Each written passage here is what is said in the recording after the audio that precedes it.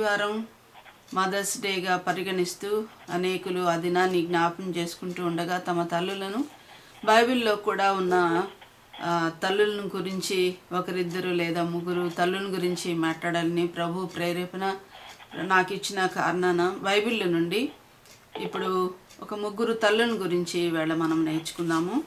ముఖ్యంగా న్యాయాధిపతుల గ్రంథంలో ఐదవ అధ్యాయంలో ఒక తల్లిని గురించి ముందు మనం చదువుకుందాం.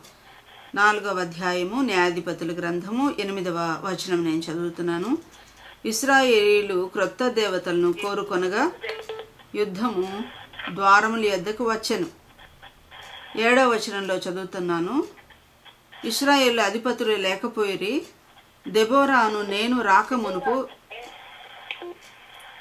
ఇస్రాయిల్లో నేను తల్లిగా ఉండక మునుపు వారు లేకపోయిరి.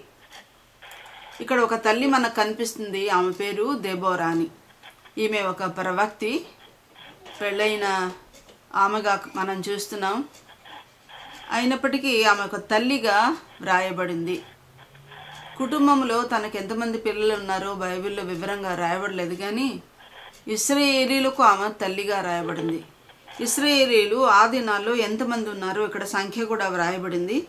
ఎంతమంది అంటే ఇస్రాయేలీయులలో నలువది వేల మందికి అని రాయబడింది. ఇస్రాయేలీలు నలభై వేల మంది ఉన్నారంట. అట్లయితే ఎంతమందికి తల్లి ఈమె? నలభై వేల మందికి. ఇంట్లో ఒకరిద్దరిని మనం కన్నామంటే వాళ్ళని చూసుకోవడమే తల ప్రాణం తోపుకొచ్చినట్టుగా ఉంటుంది కానీ దేవుడు ఆత్మీయంగా తనకు నలభై వేల మంది పిల్లల్ని ఇచ్చారు. ఆ పిల్లలు ఎలాంటి వారంటే ఎనిమిదో వచనంలో రాయబడింది ఐదవ అధ్యాయం ఎనిమిదో వచనంలో ఇస్రాయేలీలు క్రొత్త దేవతలను కోరుకొనగాని ఈ నాలుగు వేల మంది క్రొత్త దేవతలను కోరుకున్నారు అని రాయబడింది. కొత్త దేవతలు అంటే అంతకుముందు పాత దేవుని వదిలేశారు అని. పురాతనమైన దేవుడు నేను తప్ప వేరొక దేవుడు నీకు ఉండకూడదు అని చెప్పిన ఆ దేవుని వారు వదిలివేసిన వాళ్ళుగా ఉన్నట్టుగా చూస్తున్నాం. నేడు మన కుటుంబాల్లో మనం పిల్లల్ని కలిగి ఉన్నాము. మన సొంత పిల్లలు యహోవాదేవిని విడిచిపెట్టి ఈనాడు వారు కూడా క్రొత్త దేవతలను ఆరాధించేవారుగా ఉన్నారేమో. క్రొత్త దేవతలు అంటే ఏంటి? పురాతన కాలం నుంచి వింటున్నాం. అత్తకో దేవుడు కోడలకో దేవుడు తల్లింటి వారికో దేవుడు అత్తింటి వారికి ఒక దేవుడు. ఇలాగా ముఖ్యంగా మన బ్యాక్ హోమ్లో ఇండియాని గురించి మనం ఆలోచన చేస్తే ఎంతోమంది దేవుళ్ళు వాళ్ళకు ఉన్నారు. భూమి ఒక దేవుడే ఆకాశం ఒక దేవుడే నీళ్ళు ఒక దేవుడే అగ్ని ఒక దేవుడే ఇట్లాగా మరి మూడు కోట్ల దేవతలు ఉన్నారని చెప్తారు. కానీ ఇస్రాయేలీలు ఆ దినాల్లో కొత్త దేవతలను కోరుకున్నారంట. ఈనాడు మన పిల్లలకి ఎదురయ్యే కొత్త దేవతలు ఏంటి అని మనం ఆలోచన చేస్తే సినిమాలో ఒక దేవతలే సీరియల్ ఒక దేవతలే సెక్స్ ఒక దేవతే సిగరెట్లు ఒక దేవతే బాయ్ ఫ్రెండ్స్ ఒక దేవతే మరి గర్ల్ ఫ్రెండ్స్ ఒక దేవతే డ్రగ్స్ ఒక దేవతే సెక్స్ సెల్ ఫోన్లు ఇంటర్నెట్లు ఇలాగ ఎన్నో దేవతలు క్రొత్త దేవతలుగా ఈరోజు వచ్చి పడి ఉన్నాయి. దేవుని కంటే దేన్ని ఎవరిని ఎక్కువగా ప్రేమిస్తామో అవే ఒక దేవుడుగా ఉన్నాయి. దేవునికి ఇవ్వాల్సిన మరి సమయము భయభక్తులు మరి విడిచిపెట్టి వీటిని ఎక్కువగా కోరుకుంటున్న దినాల్లో మనం చూస్తున్నాం.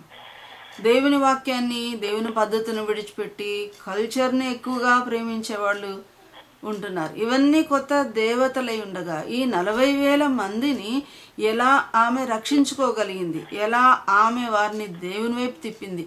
ఎలాగో ఆమె ప్రార్థన వైపు వారిని తిప్పింది? వాక్యం వైపు ఎలాగ తిప్పిందో అనే సంగతిని ఈవేళ మనం ఎక్కువగా ఆలోచించవలసిన వారమై ఉన్నాము. దేవుడు ఈమె ప్రవక్త అయి ఉండగా ఈమెకు ఆ నలభై వేల మందిని దారి తప్పిన ఆ పిల్లలను ఎలాగ ప్రభువులకు నడిపించాలని ఒకవేళ ఆమె ప్రార్థన చేస్తూ ఉన్న బిడ్డ ఏమో. దేవుడు ఆమెతో మాట్లాడాడు వీళ్ళందరినీ ఆ యొక్క దేవతల నుండి విడిపించమని. ఇలా ఆమె ప్రార్థన చేస్తుండగా దేవుడు ఆమెకు చెప్పాడు ఏమని? నీవు వీరందరినీ తావోరు కొండ దగ్గరికి నడిపించాలని. ఒక తల్లిగా ఒక సంసారిగా కుటుంబాన్ని కలిగిన ఈమె వెళ్ళి పన్నెండు గోత్రాల ఇస్రాయల్కి వెళ్ళి చెప్పలేదు గనుక ఈమె ఒక అభినయం కుమారుడైన బారాకును పిలిచి దేవుడు ఇలా చెప్పాడు నువ్వు వెళ్ళి వాళ్ళని తాబోరు కొండ దగ్గరికి రప్పించుము అని చెప్పింది. ఎవరిని రమ్మని చెప్పిందంటే నలభై వేల మందిని రమ్మని దేవుడు చెప్పలేదు. పదివేల మందిని మాత్రమే తీసుకెళ్ళమన్నాడు. ఆ పదివేల మంది కూడా ఎన్ని గోత్రాల వాళ్ళంటే ఒక గోత్రం జబూలును రెండవ గోత్రం నఫ్తాలి. జబూలును అని రెండు గోత్రాలను మాత్రమే ఆ యొక్క యుద్ధానికి సిద్ధపరచమని దేవుడు చెప్పాడు.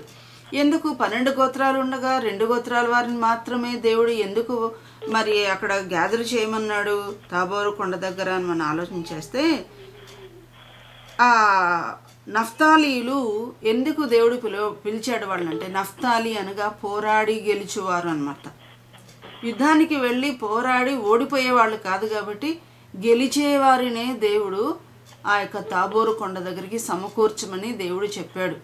అంత మాత్రమే కాకుండా నఫ్తాలి ఇంపైన మాటలు మాట్లాడేవాడని మనకు బైబిల్లో తెలుస్తుంది. మోషే వారిని దీవించినప్పుడు మరి నఫ్తాలి ఇంపైన మాటలు మాట్లాడతాడు అని చెప్పింది. కనుక ప్రార్థనకు అనగా తాబోరు కొండను ప్రార్థనకు మనం ఆధారంగా తీసుకోవచ్చు. అది దానికే సదృశంగా ఉంది.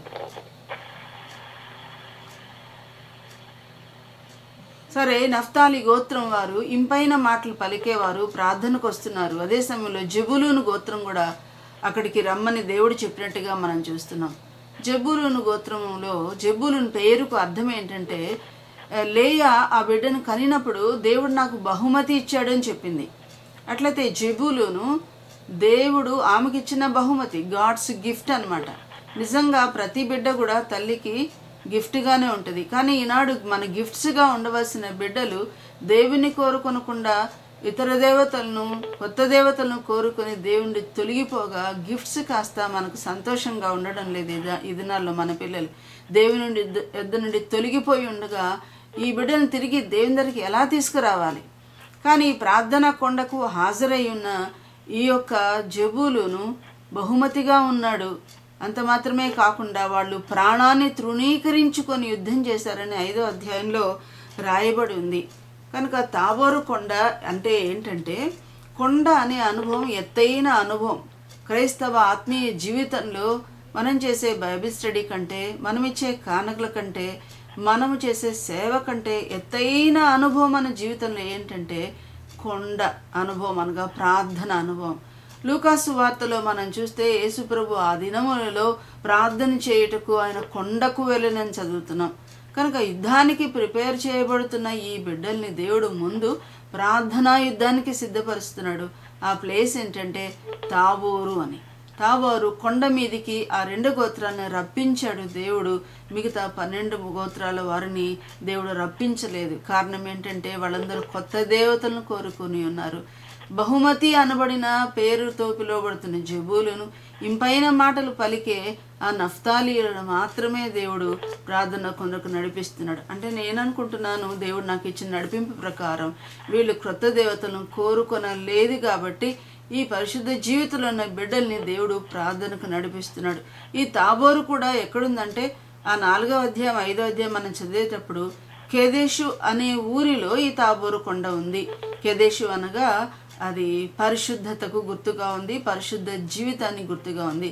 కెదేశులో ఉన్న తబోరు కొండని ఎక్కి అక్కడికి వాళ్ళు వచ్చినట్టు మనం చూస్తున్నాం. మనం ప్రార్థనా కొండ ఎక్కినప్పుడు ఎటువంటి మరి పరిస్థితిలో ఉండి మనం ప్రార్థన చేయాలి అంటే పరిశుద్ధతలో మనం ప్రార్థన చేయాలి. పురుషులను ప్రార్థన చేయమన్నప్పుడు రెండవ తిమోతి పత్రికలో కూడా ప్రభువు చెప్పాడు పురుషులు ప్రతి స్థలమందు పవిత్రమైన చేతులెత్తి ప్రార్థన చేయాలి. పురుషులు కానీ స్త్రీలు కానీ మనం ఎవరైనా ప్రార్థన చేసినప్పుడు మరి పరిశుద్ధతతో మనం ప్రార్థన చేయాలి.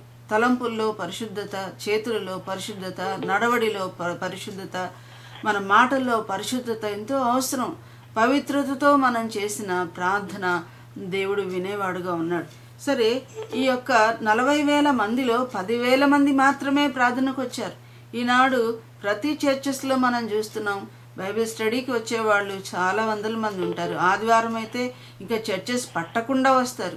కానీ అదే ప్రేయర్ మీటింగ్ అంటూనే చేతుల్లో వేళ్ళ మీద లెక్క పెట్టగలిగినంత మాత్రమే చాలా పూర్ అటెండెన్స్ ఆ దినాలు ఉంటుంది. వీళ్ళైనా ప్రతి నలుగురిలో ఒకరైనా ప్రార్థనకు వచ్చారు ఇప్పుడు ప్రతి మరి పది మందిలో ఒకరు కూడా ప్రార్థనకు వస్తారా అంటే కూడా సంశయాస్పదంగా ఉంటుంది. కనుక ప్రార్థనకు వచ్చేవాళ్ళు చాలా తక్కువ. ఆ దినాల్లో త్రీ ఈస్ టు వన్ రేషియోలో మరి వారు ప్రార్థనకు వచ్చినట్టుగా మనం చూస్తున్నాం.